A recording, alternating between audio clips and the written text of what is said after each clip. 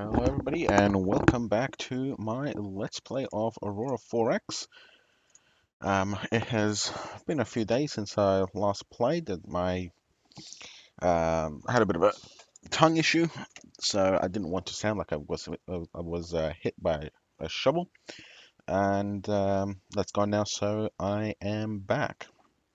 So when we left off last time, we had uh, started production of our terraforming, or at least loaded up production for our terraforming terraforming um, orbital. And now we're waiting for it to finish or finally get up to production. Uh, and for now, we're basically just working on getting our technology base back uh, uh up to a reasonable level, uh, getting our combat ships to a to a reasonable quantity, and just basically uh, getting ready to start terraforming and colonizing Sol and the beyond. So slowly getting up there. So we still need the jump gate construction module. So the jump gate construction module, um, the number there that determines how many days it takes for the gate for it to actually uh, build the gate.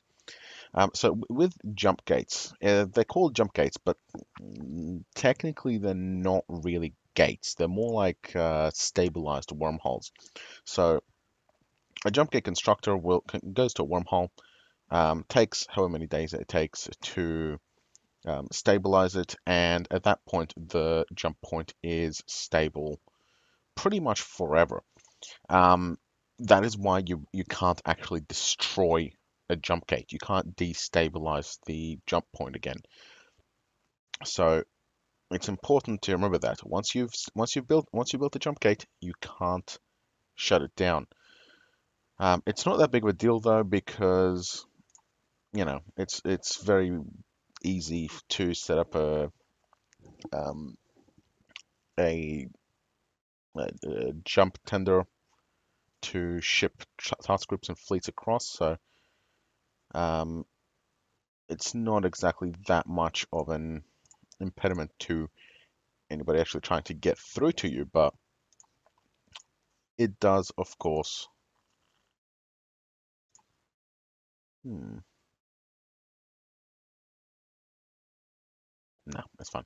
Um, it does, of course, um, make a problem with getting very large ships through, and um, civilian shipping and stuff like that can't really move across non-jump gated ones. So jump gates are useful, but not having one is not really going to stop um, anything big or dangerous coming through. All right, so jump gate module. And now all we need is an engine. Yeah, that'll do. And fuel. 110 billion. Yeah, that'll do. So jump gate construction time is not affected by morale, so deployment time can be three months. We'll put a conscript crew because we don't need um, we don't need morale or crew skill or anything like that. So now we have to wait for a commercial shipyard to get done.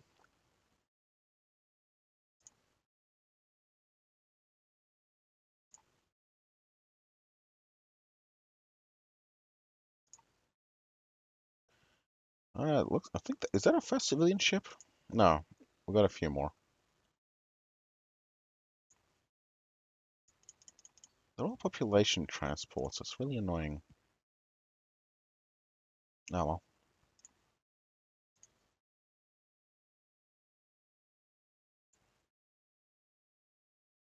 Uh, we got a boost in research.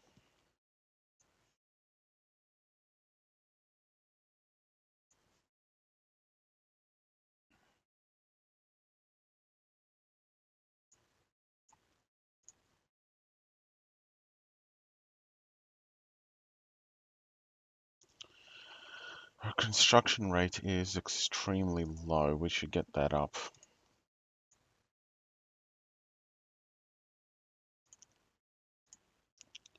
Put that next after mining rate. And we'll actually boost this to 10. Drop the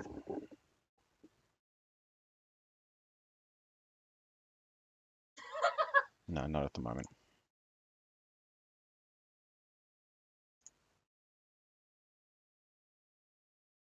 Actually, yeah. Finish off the last of the fire controls. And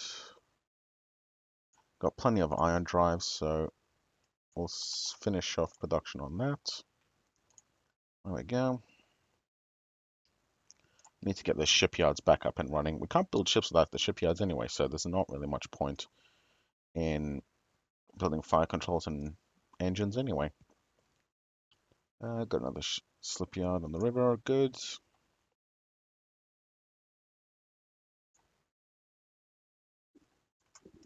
Take some production for the construction factories because we really, really need more.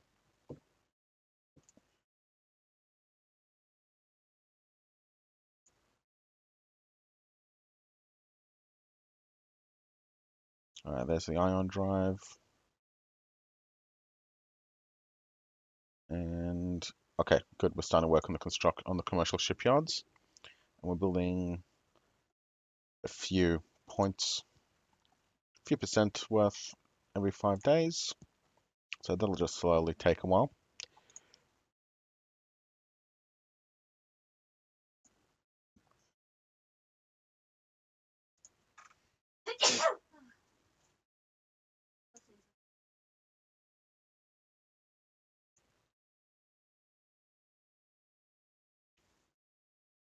Got a new research lab. Let's see if we can put on something useful.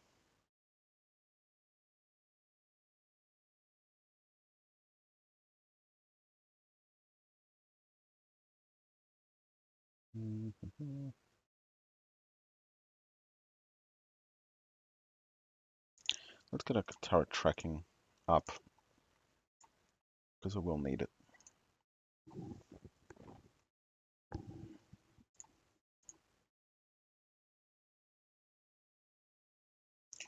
What's the rest of our guys doing? Not a thing.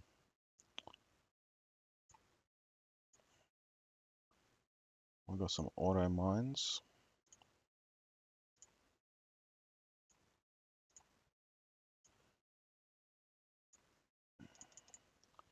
Get some more subsidies going.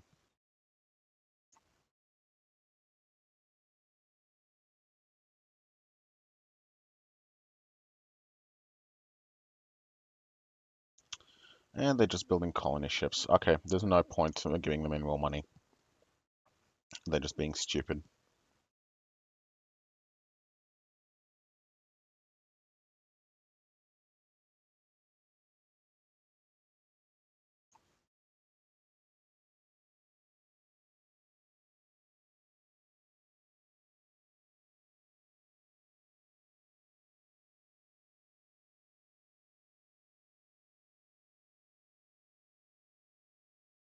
Uh, oh, we've got some construction brigades. Excellent. Each construction brigade is, is considered one factory. So having construction brigades allows us to basically increase our, our factory production for the planet without necessarily having to build new construction factories. And we can also move them around and they can run without requiring population. So um, we don't have to worry about whether a population or not, and we can build PDCs and stuff to it. So it comes in extremely handy. They're also fantastic for digging out um, ruins that we might find. So that will be great. A salvage module is almost done. There it is. Let's work on some of these foundation technologies. Engineering, fuel storage.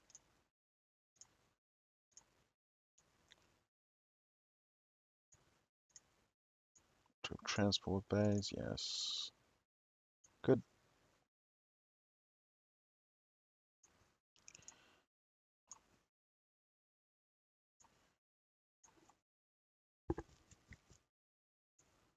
I just realized I forgot to set the thing.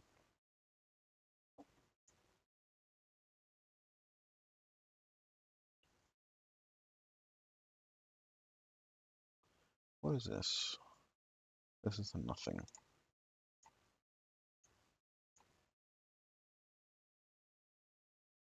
This thing is a constructor.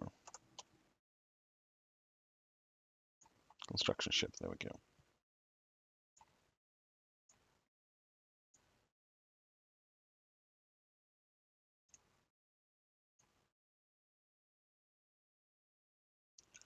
Ah, we almost have a shipyard.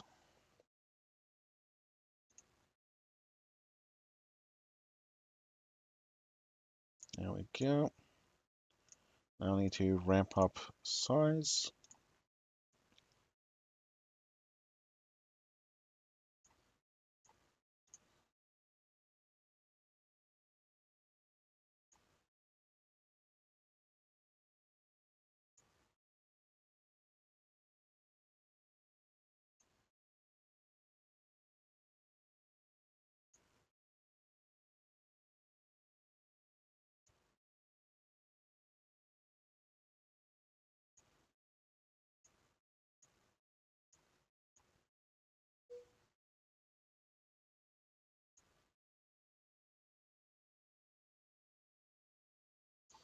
Okay,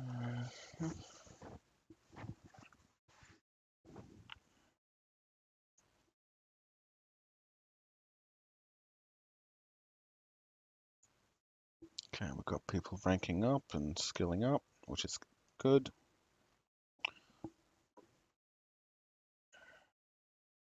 Terraforming rate is at 0.02, which is fine.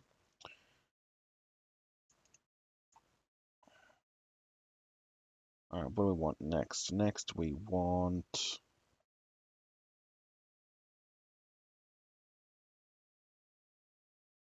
You know, I'm going to get some missile technology because I want to show you all missile design and all that good stuff. So, start the foundations of missile and magazine tech.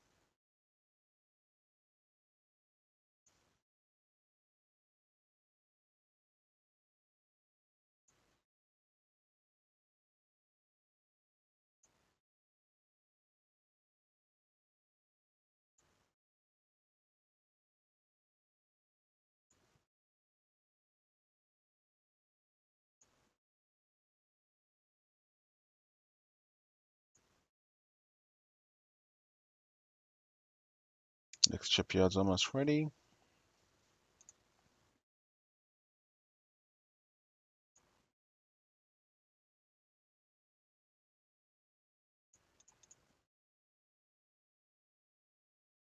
There it is. I'll go ahead and add more capacity to it.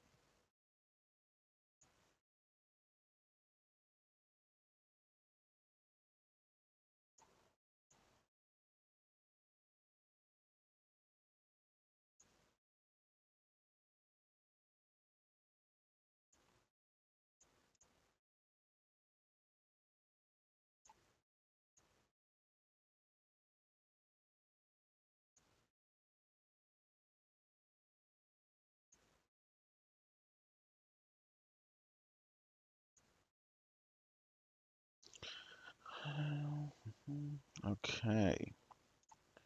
Got some capacity, add more. Got a research lab, stick that in there. Good.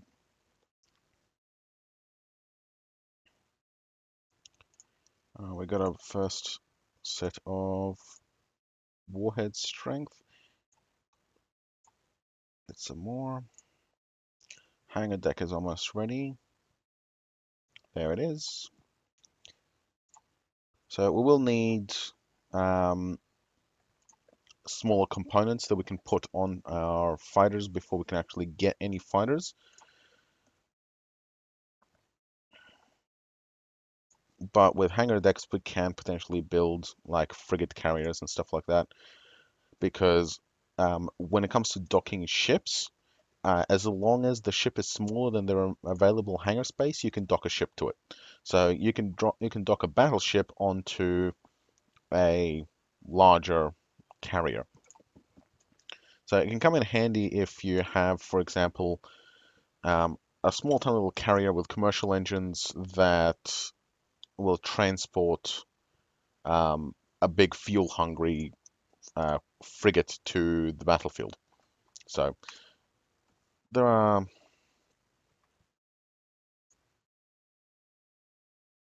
definitely uses for small for big carriers like that. Uh, we've got a new shipping line. Yes, somebody finally put out a freighter.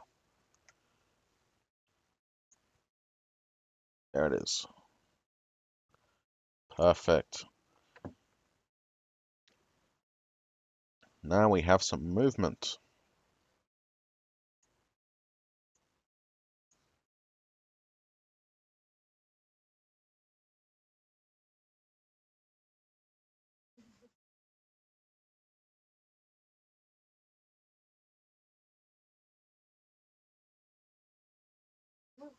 And more freighters. Excellent. So now we can take our cargo task group and leave it at Earth.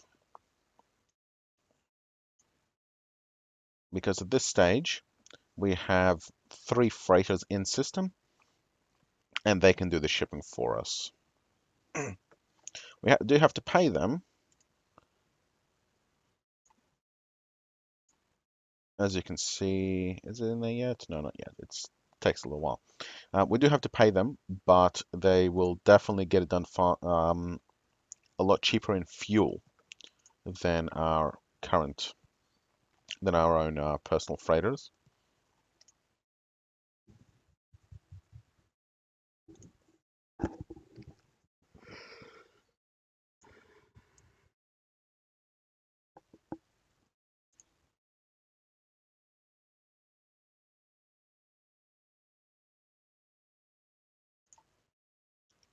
Got more research ready. And looks like they set up a civilian mining colony on Schmaus. There it is. Okay, what do they have? Duranium and corbomite. So they're going to be harvesting pretty quickly, and of course they'll expand as time goes on. Do we now have we actually tagged all of the colonies that we want? Yeah, we pretty much have tagged all the colonies we want. So, duranium. How much duranium and corbomite are we actually lacking? So we have a fair amount of corbomite. We have a fair amount of duranium. Um, we have tritanium coming. Um, corbomite, corbomite, corbomite. Do we have any actual corbomite? Yeah, we have a small source of corbomite from Numjin. And we have plenty at EO. So the next question is, can we afford to buy this stuff? And with a current wealth, yes, yes, we can. So we might as well purchase it so that it doesn't go into the ether and send it on its way.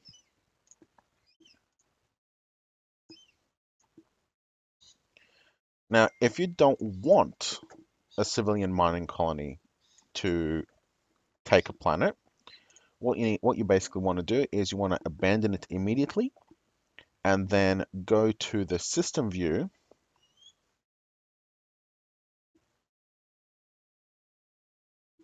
Once it loads.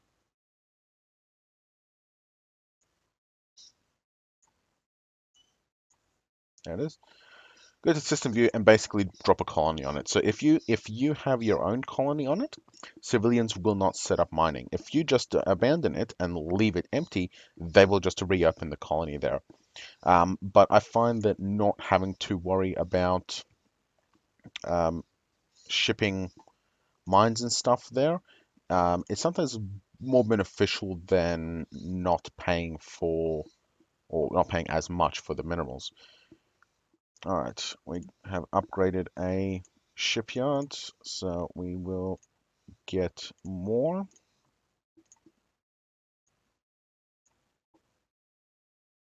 I looks like we've got a new one as well, which is great. Some time ago.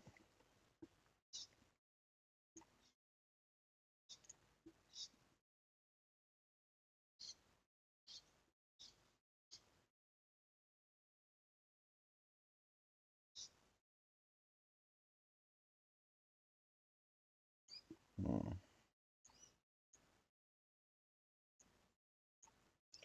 I have to shut down slinging. The mineral packet appears to be stuck here for some reason. We'll have to have a look at that in a moment. But we'll get more tonnage there. Okay, that mineral packet is gone.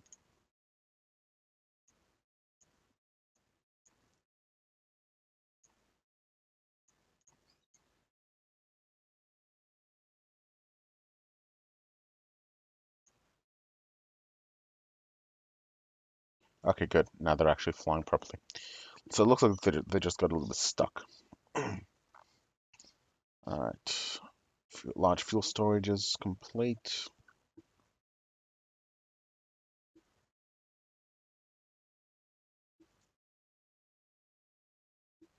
Uh, I see what what's happening. So the mineral packet gets spawned, right? And because it's so small and so fast, it's going from here to here and landing at Earth within a five day tick. Because it's landing and disappearing, the tail never actually forms. If we go to, oh, there's a new mining colony. Let's go have a look at it first. Dysnomia. 81,000 duranium. That's nothing. They can keep it. Uh, now, so yeah, if we do one day ticks,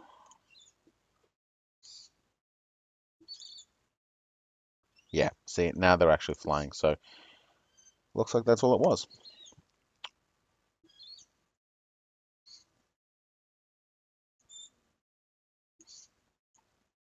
Okay, moving along.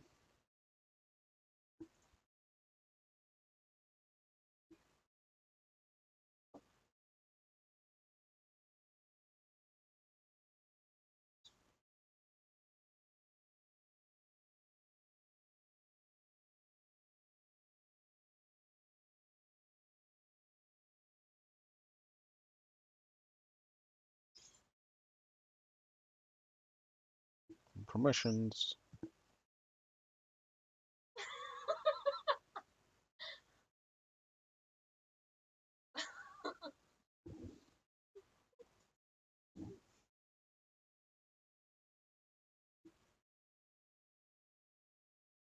Okay, that's fine. Keep going. Still got another seven minutes to go. More capacity.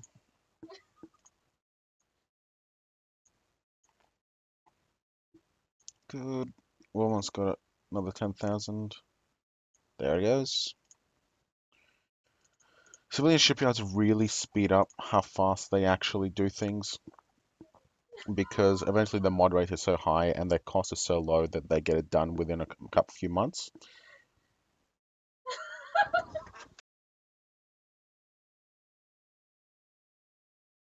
Got more construction brigades, which is great.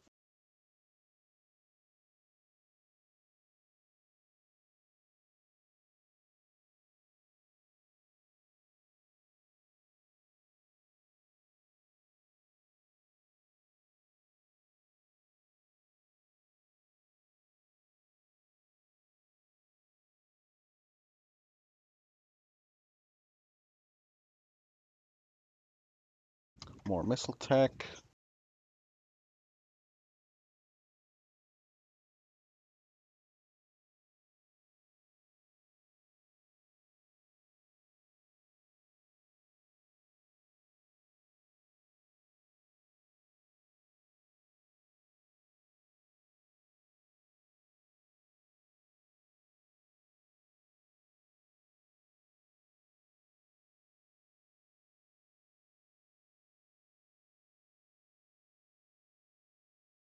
How are we doing for factories? 243.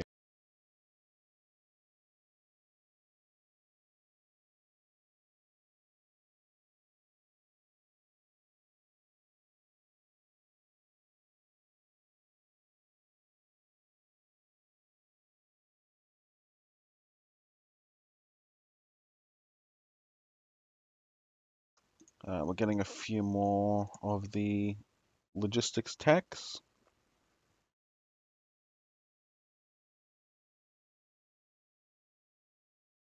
Yeah, that'll do. Yeah, it looks like we have another civilian mining colony as well. So we'll go have a look at this one. What's this one got? Uh, not very much of anything at all. They can keep that.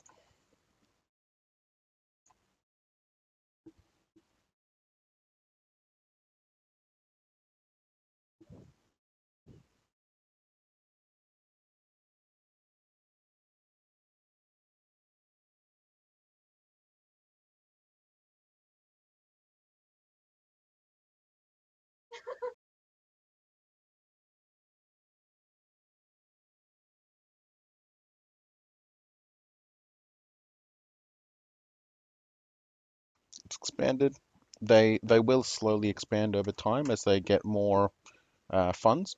So for the most part, they will usually try and establish new colonies. Um, but if they can't establish a new colony, then they will upgrade one instead.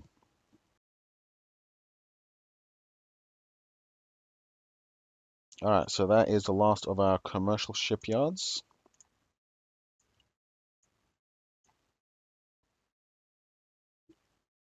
I'll bump this one up to 100,000 as well, just for kicks.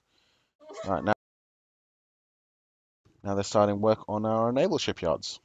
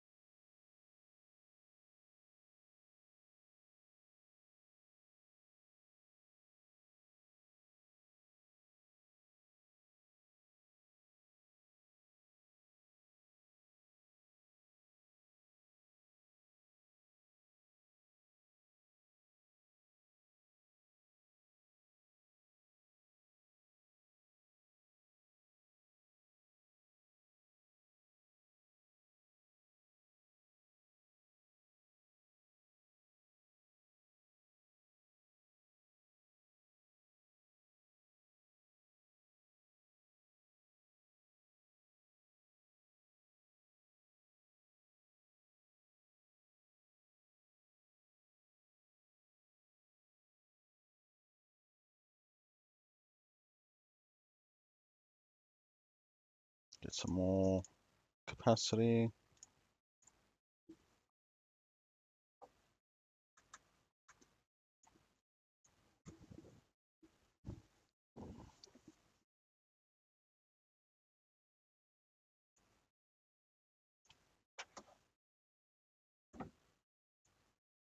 Yes, that one's up to 10,000, that's good.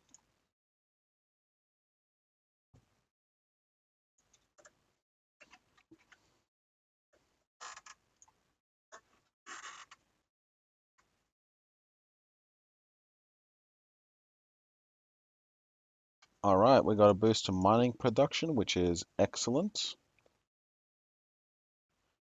Earth still has another 33 years of minerals. Although most of them are going to be gone in about 15, within 15. And we're now working on our construction rate, which is going to help immensely.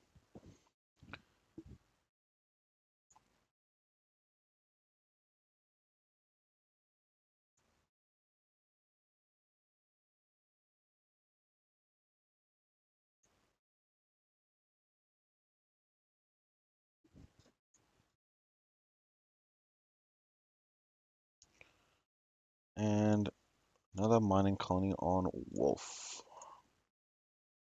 Sorium. Sorium is just fuel. Um, we're gonna we've found several, probably about 300 million tons so far of it in different places, if not more. So they can keep that as minerals as well. And that's half an hour. So with that, I'll put in a cut and we'll continue on in the next video.